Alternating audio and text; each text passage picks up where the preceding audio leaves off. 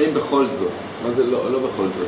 יש לך הזדמנות לשאול כל שאלה שאי פעם חשבת, גם השאלות, גם השאלות שהתייאשת מלשאול אותן. אותן שאלות שאמרו לך אסור לשאול, אין תשובה, אי אפשר להבין, עכשיו תשאל.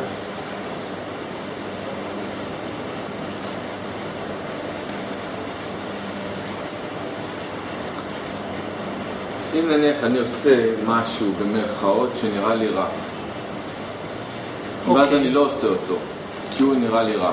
אוקיי. אז, אה, אני רק אצטרך משפט. איך אפשר למצוא שאלה? מאוד פשוט.